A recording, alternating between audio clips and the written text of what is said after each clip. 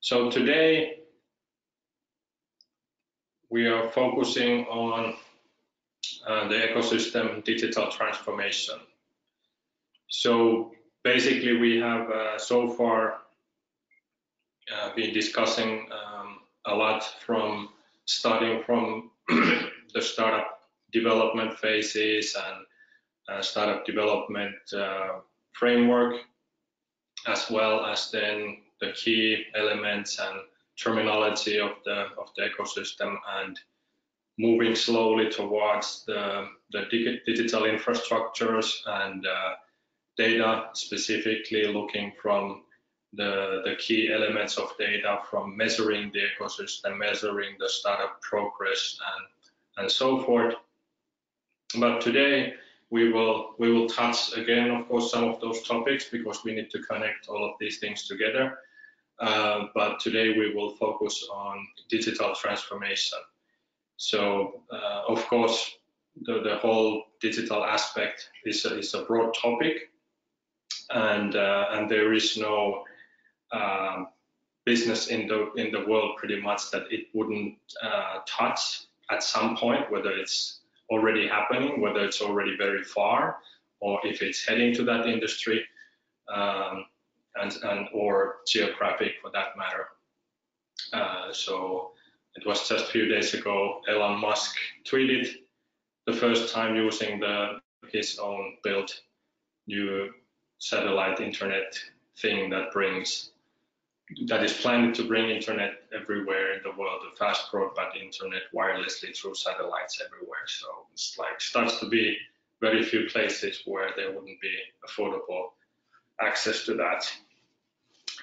But anyway, so um, and, and when we talk about digital transformation, we of course need to also understand what that that uh, more broadly uh, translates into. So we cover that topic from from that perspective as well. So welcome everyone for for the for the third module and, and let's get going. So some of the key topics uh, for today are uh, getting more deeper into, uh, we discussed uh, a lot about the, the, KPIs as one of the key data elements uh, that everyone can relate to why they are important. And, uh, and, and then we look more deeply in how to actually go about looking into how that collection is happening and, and how it can be incentivized. We talk about the digital transformation. We look at the ecosystem architectures more closely. Also, we take a much deeper dive into softwares and data and solutions. When we go uh, further in the technical terminology and language, we look at the ecosystem level user accounts that are key factor in bringing the the um, ecosystem level user experience, improving that, uh, improving the, the, the, the, progress measures of individuals and startups within the ecosystem. Uh, we discuss and, and, build understanding around data models. Uh, and then we look at some ecosystem um, application concepts or existing applications and solutions where uh, the type of infrastructure that we've been discussing about uh, building a data infrastructure to connect applications versus looking at applications as their own individual silos. What type of applications then that brings, uh, and then also from individual support function perspective, what types of uh, existing or new applications there there may be that are very interesting from the uh, from the perspective of data collection and data availability. So we look at some existing ones, we look at some where there's long history experience, and then we look also some of the future uh, looking conceptual uh, models as well. And then uh, we also have the sustainability topic, uh, but that starts to already translate to module four. So, so we may not uh, have enough time to, to touch on that. But uh, if we do, we can then look at the sustainability um, kind of a, a, a, an opening for that, uh, but we'll take a deeper dive in the module four. Okay, so uh, once more, I'm I'm Valto Loikkanen, but I think uh, at this point, all of the the, the participants uh, have already taken part on the previous ones, uh, so I'm not going to dive any more deeper to that. But I guess if you want to tweet something about what you learned today, then feel free to do so. There's the Twitter handle, uh, so maybe you can take it from that aspect this time. So let's dive into the, the data collection uh, aspect.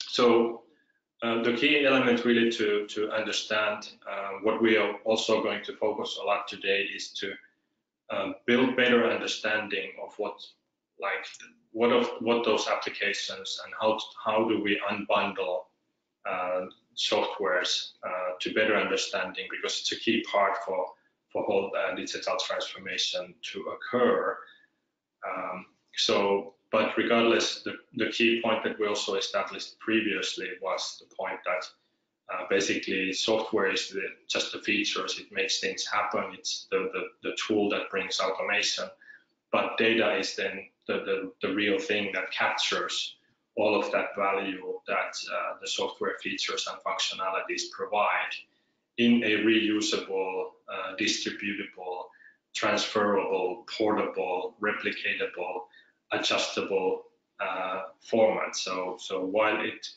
the features do something to improve a process or function in a business, uh, data is then the, the, the, the value. And, uh, and in most places, when we think about it, um, like CRM systems, for example, it's nothing more like, like a log of putting information in like you know in a, in our own secret place that we know is valuable and we can go there and we can look at it and, and, we can find and then we can share it with our colleagues the interactions we have had with customers and so forth. But it's really like the software has function as a place to put that value in and extract that value out. But what what the key part to understand that that value really has a lot of other values, specifically when it's shared with others, when it's looked at from a different perspective, or when it's reorganized, or when it's combined with something else. And uh, so data has uh, a lot more different value than just the value that, that typically uh, the process that is around in the form of software is created for. So really understanding that that uh, data is the value of the software it can, it's easy to think if you have, you know, like a project management software and there wouldn't be any projects in there. You would have a CRM software, there's no records there. Then you, you really understand that the software itself is pretty low value um, in, in, in without having that data. Of course, it provides that process support, but but uh, but empty software is pretty pretty clear indication of where's the value? All right, so let's look at the data value chain in how the data kind of comes to life uh, from the perspective when when not not looking from the, the perspective of you know recording information. I enter something and then you look at that something. But when we extract that value out of the system or multiple systems uh, how does that happen? So so the data, it, it, starts from the data acquisition. So that can of course be also like research data that we look for something specifically. Uh, but regardless, we pull it from one or multiple sources. We then need to prepare that data in some useful format, uh, meaning that we need to kind of make sure that it's clean, that uh, overlapping data elements are merged. Uh, so if we have two or three systems, so that it comes together. Then we can uh, do some analysis from that, so we can find insights from from that. Uh, and then uh, there's data modeling that we can structure. We can restructure that data for different new uh, usage purposes.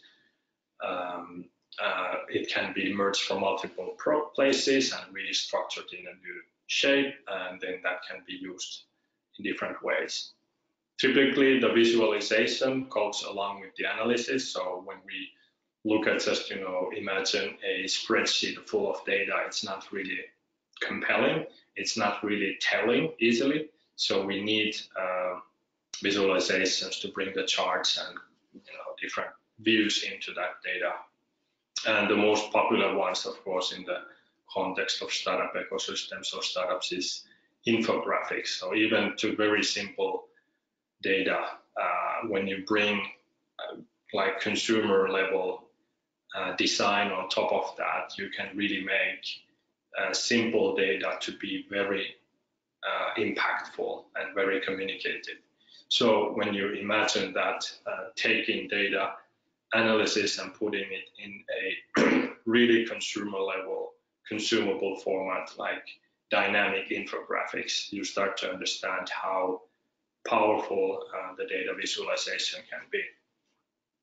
And then, of course, there's further distribution. So when we open it, uh, either fully open or permission-based data, so someone gets access, but it's technically connected, but you need to ask permission to access it, and then someone can grant that.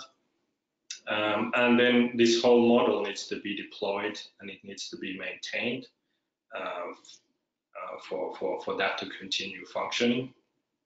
And, and then with data, uh, we can also start building automation. So when we have data, information changes, we can then, uh, or new information enters, we can then create software triggers that create uh, new types of ac actions and functions uh, in, in any kind of application. So, so this is kind of the, the, the general uh, model of, of, how we can think of data and uh, and, and what, what is really the, the part where we apply this uh, and, and where's the quickest place to start thinking of, uh, of applying that and building the automation on top of is when you think the most common activities at ecosystem level that happen today, uh, which are uh, ecosystem mapping. So collecting basic information about organization and doing that manual process. So almost with the same cost, like like like genuinely almost with the same cost and time that it takes to do that manual mapping exercise once can a, this type of a technical setup be deployed uh, at the same time so think of it at the same time with same timeline and almost with the same cost you can, instead of doing one ecosystem mapping, you can do the mapping, deploy a, a technical solution, and have constantly repeatable solution to repeat that process automatically as many times as you like, as often as you like, as dynamically as you like. Build automation out of that. And, um, and that's really um, the level of, of uh, uh, separation between when we talk about uh, the, the, the business operational side of people working uh, in the, their own silo, and then we talk about technology people and software people not connected into that manual process uh, where we miss the opportunity. So instead of having, you know, 10 people team that are all uh, non-technical people, uh, or more doing the manual collection, instead having you know uh, five business side people and five uh, technology people to do the same process, but in a way that it gets done, but also technology gets implemented at the same time. So that's that's the the the, the type of uh, thing. So either doing it fully manually, this same process, or doing the process and applying technology or software applications at the same time.